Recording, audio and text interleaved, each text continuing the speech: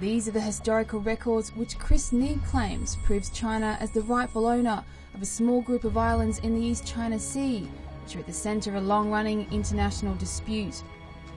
For decades, the Diaoyu Islands have been caught in a fierce tug of war between the world's most populous nation and its neighbour Japan.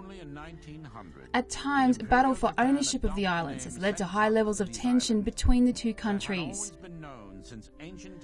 And these are the islands which are the cause of so much debate.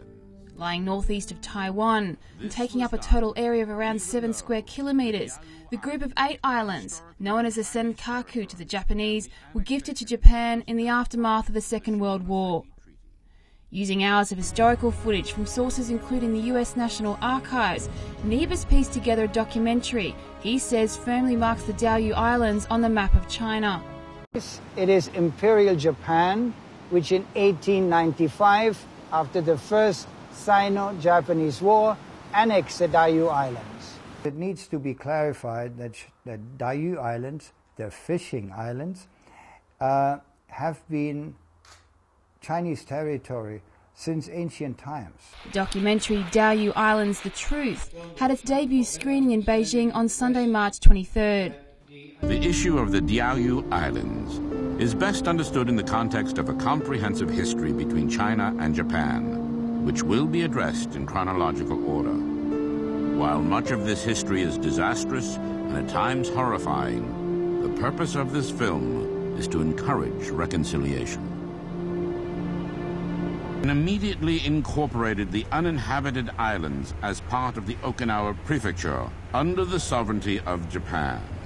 This was done even though the Diaoyu Islands had historically been Chinese territory and the annexation was never part of the Shimonoseki Treaty. It chronicles the island's history right up until the Second World War and its aftermath.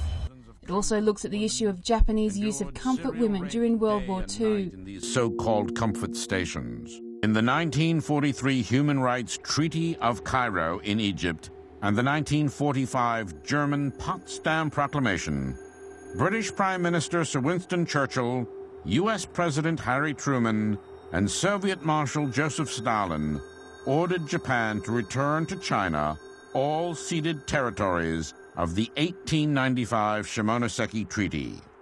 It is at this point that the Diaoyu Islands issue could have been easily resolved.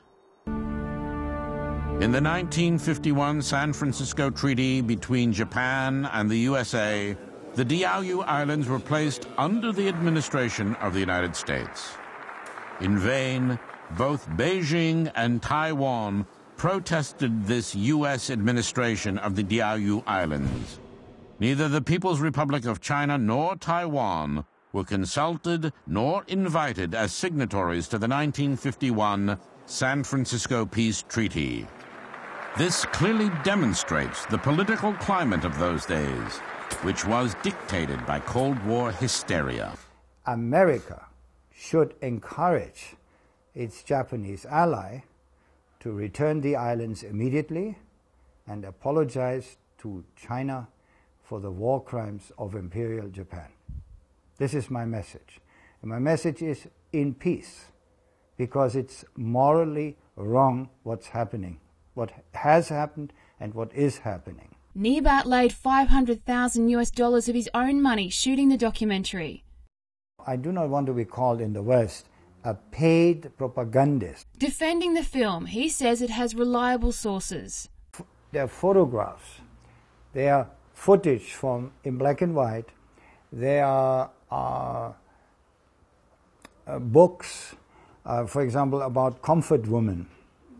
There were three books written about it, and there are photos where some survivors testified at the Tokyo War tri uh, tribunals if an outsider says something about something like this, it carries more weight than when you say it.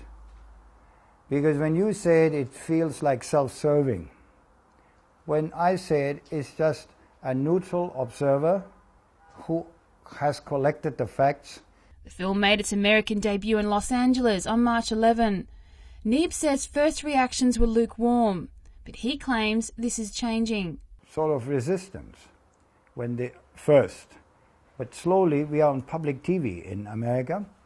There was resistance, with, there is and was resistance in some stations, but I have dozens of letters here, which I can show you if you want, where the TV stations, after they have aired the series, report about the enthusiastic response from the viewers and that they want more films. The director also believes Japanese audiences will want to watch the film. And I'm sure that a lot of Japanese will appreciate because this film, I now more than ever believe, will really open the door for a reconciliation